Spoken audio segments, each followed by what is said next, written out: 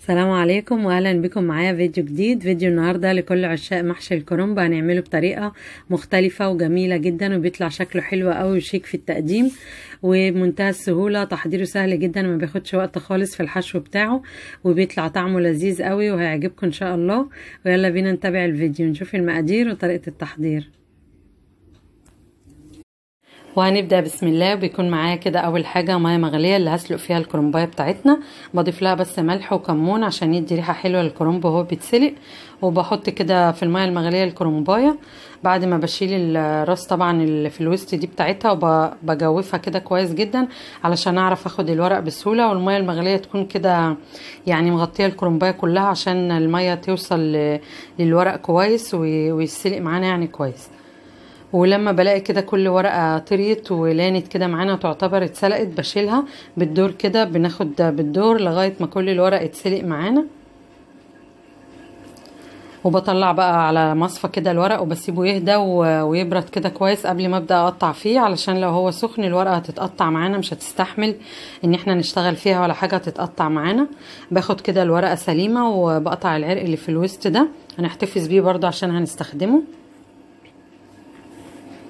وبعد كده بكمل بقطع برضو باقي الورقة كده نصين وبسيبها بقى بالشكل ده ما بصغرهاش عن كده. وبكمل بقى الورقة اللي معايا برضو بنفس الطريقة.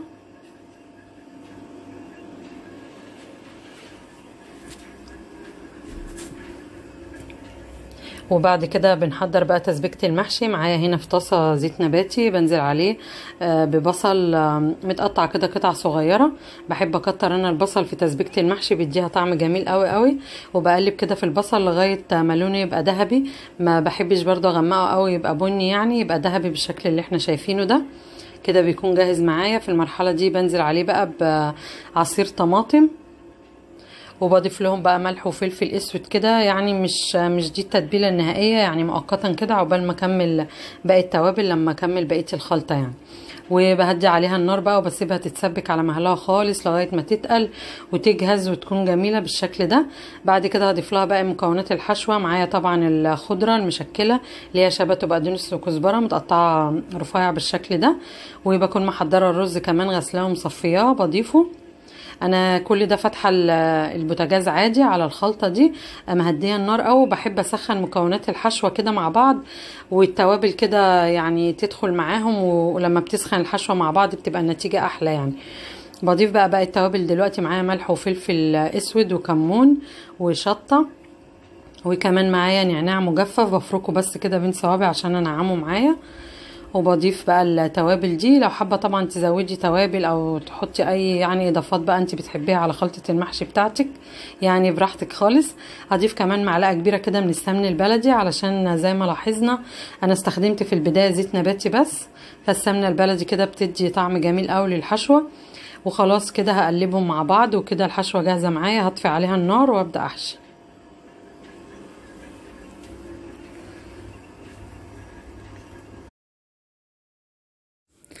بعد كده بيكون معايا صينية فرن أو طاسة أو أي حاجة أنا اسويها على البوتاجاز عادي يعني مش في الفرن. بس إحنا محتاجين حاجة يعني مش حلة حاجة لأن هنعمل يعني بيكون مستوى واحد أو صف واحد مش زي الحلة بقى بنعمل كذا صف وكده. فالعروق بقى اللي كنا مطلعينها وإحنا بنقطع الورق حطيتها في أرضية الطاسة اللي معايا كلها. وبعد كده باخد بقى كل ورقة بحط الحشوة بالشكل ده وبلفها رول. لو في أي ورقة فيها قطع فيها حاجة عادي جدا بالراحة كده عليها و...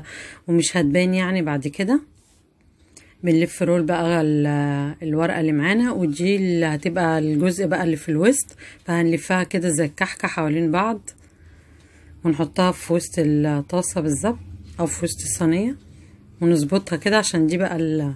يعني ال center اللي هنلف حواليه بقى باقي المحشي بتاعنا اللي هيبقى شكله كده عامل زي الفطيرة كده شكله بيبقى جميل قوي. وبنكمل حشو بنفس الطريقة. ويكون بقى الجزء اللي هو اللفة من تحت دي هو الملامس يعني أرضية الصينية. علشان ما يفكش معانا أثناء التسوية. وبناخد طبعا من يعني نهاية الدايرة الأولانية دي نبدأ نحط نحط معاها كده ونبدأ يعني من عندها ونلف وهكذا. والنهاية بتاعت الجزء اللي بعده ونلف وهكذا. ونعمل بقى كل مدى كده الدايرة بتكبر معانا.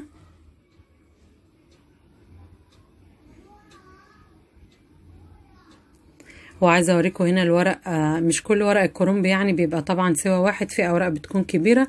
وفي أوراق بتكون صغيرة فالصغير ده ممكن نحط يعني قطعتين جنب بعض بالشكل ده ونلف برضو رول ونكمل بنفس الطريقة وكده كملنا بقى الصينية بتاعتنا كل كلها بالشكل ده ونحاول كده ما نضغطش عليهم قوي بين كل اللفات يعني علشان ندي برضو آه مساحة ويكون في مسافة للرز. طبعا لما يستوي هينفش وهيبقى عايز مكان فما نزنقهمش قوي مع بعض. دلوقتي بقى هنسقي المحشي معايا شوربة آه سخنة بضيف لها رشة من الملح كده ومن الفلفل ومعلقة كبيرة من السمنة البلدي ومعلقة صلصة طماطم طبعا زي ما شفنا علشان بحب أسقي محشي الكرنب بالذات والبتنجان والفلفل بالشوربة يكون فيها صلصة كده تكون شوربة حمراء يعني بيدي بتديهم لون جميل قوي بعد التسوية. وبسقي كده المحشي بتاعنا عادي جدا زي ما بنسقي كده حلة المحشي العادية اللي هي بتبقى صوابع صغيرة دي عادي جدا آه فوق مستوى المحشي كده. ودي صف واحد طبعا زي ما قلنا. وأحط لها بس طبق كده عشان يعمل تقل شوية عشان بعد الغليان وأثناء التسوية الشكل بتاع المحشي اللي إحنا عاملينه ده ما يبص ويفضل كده متماسك واخد الشكل بتاعه. بعد كده برفعها على النار على نار عالية كده في البداية لغاية ما يغلي غلية قوية. بهدي بقى النار واغطي عليه. واسيبه يكمل سوا خالص وعادي جدا زي ما بنسوي بقى أي محشي معانا بالطريقة اللي إحنا عارفينها. كده بعد ما المحشي بقى استوى معانا بسم الله الرحمن الرحيم بنشيل كده الطبق اللي كنا حاطينه. بص شكله تحفة وريحته بقى ما اقولكوش ما شاء الله شكله جميل جدا جدا. هنقلب طبعا المحشي بقى في في طبق عشان التقديم. لازم يتقدم زي ما هو بنفس الشكل كده. فهقلبه كده بسم الله الرحمن الرحيم. وبنرفع الصينية بتاعتنا. أهو ما شاء الله متماسك ونزل يعني مظبوط نفس الشكل. هشيل بس باقي الأوراق بقى اللي كنا حاطينها في الأرضية.